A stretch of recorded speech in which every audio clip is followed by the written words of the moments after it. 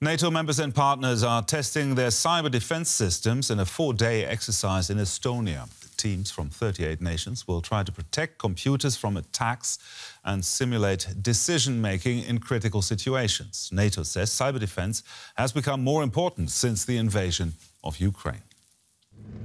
Speed, strategy and skill. That's what matters in war games. Whether they take place on the ground in real-life forests or online, as they do in Locked Shields, the international cyber war exercise. Some 3,000 people from 38 countries are taking part, and most of them are online. The goal?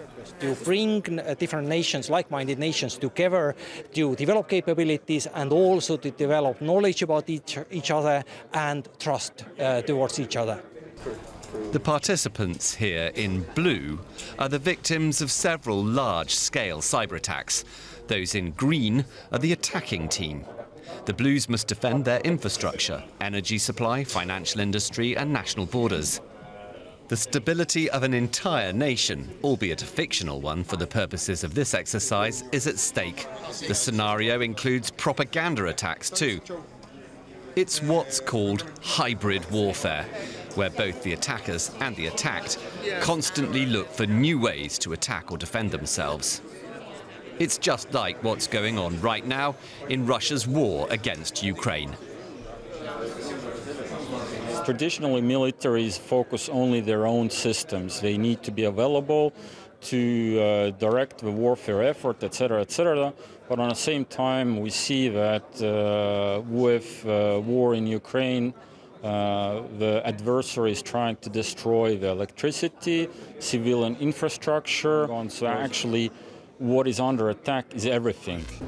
And that includes the media in a huge propaganda war.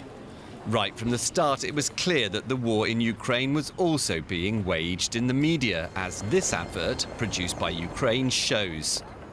It's about the so-called IT army blocking Russian propaganda and disinformation.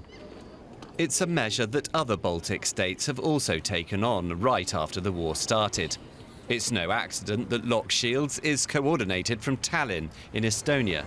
That's where NATO's Cyber Defence Centre is located, a central office of the Western Military Alliance and its partners for digital security. The Estonian state had to defend itself against several serious cyber attacks back in 2007, and it's been taking the issue seriously ever since. Uh, well, uh, up to now it works pretty well. Estonia is con continuously under heavy attack uh, from uh, Russia and uh, other sources potentially, but we hardly notice it because our defenses are, are very good. And that's how it should be for all NATO countries, if the Locked Shields organisers have anything to do with it. Now let's learn a bit more about cyber uh, warfare, rather, from Dmitri Alperovitch. He's a chairman of the Silverado, Silverado Policy Accelerator. It's a think tank in Washington, D.C. Welcome uh, to DW News. Dmitri, uh, to what extent does cyber warfare play a role in the war in Ukraine right now? It's really interesting because we're seeing the Russians use cyber warfare quite extensively in Ukraine. Probably the most significant cyber attack we've ever had in history in the context of warfare was undertaken by the Russians in the first day of the war when they attacked actually not a Ukrainian system, but an American company called Viasat that provided satellite communication services to Ukraine. And, and it had an effect in combination with other techniques that the Russians were using to jam radio communications and the like to really blind the Ukrainians in those initial critical hours of the conflict and probably assisted the Russians in the dramatic success they've had in that first 48 hours in taking a big chunk of the country, particularly the south region, uh, where they made a lot of progress right away. And even uh, in Kiev, were able to get almost to the outskirts of Kiev.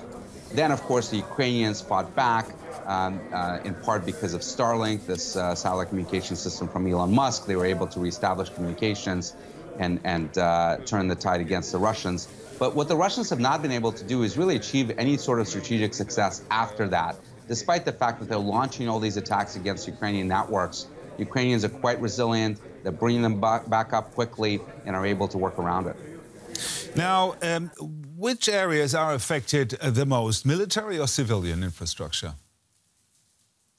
Really, both. Uh, the civilian infrastructure has been pummeled. Their energy sector, their financial sector, their media are under just constant assault in cyberspace uh, with these so-called wiper malware uh, capabilities where they destroy data on, on your machines with denial of service attacks, where they flood your websites and networks with traffic to overwhelm you. So that is ongoing. On the military side, they've been really focused on uh, gaining intelligence in cyberspace, uh, gaining access to sensitive military systems. A lot of Ukrainian systems are actually connected to the internet because they want to have every soldier in their military uh, get intelligence in real time, be able to submit information on Russian troop movements and the like.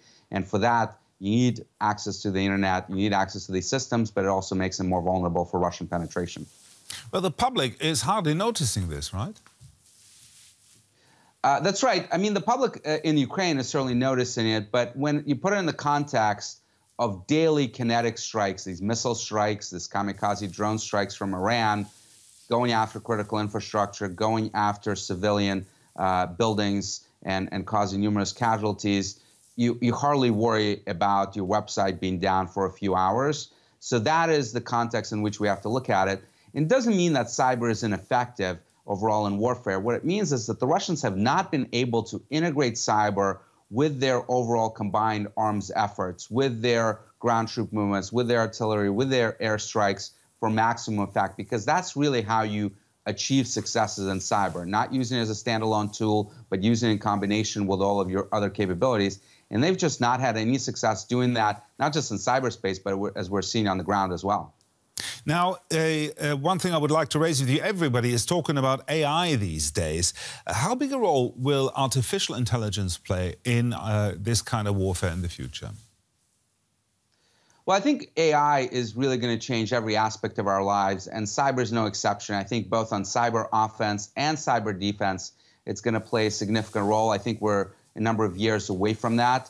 But uh, the way that you can think about AI is that it's going to automate so many things that you currently do in cyberspace. From an attacker perspective, it may help uh, uh, help uh, attackers find vulnerabilities in our software that they can then exploit to launch many more attacks going forward. But on the other hand, it's a, always a cat and mouse game in cyberspace. So defense as well is going to be able to use the same technologies to try to identify those vulnerabilities and close them up. Uh, so it's always going to be a race. Who's going to get there first? Who's going to be faster?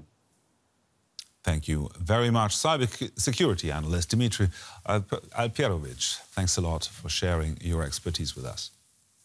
Thank you.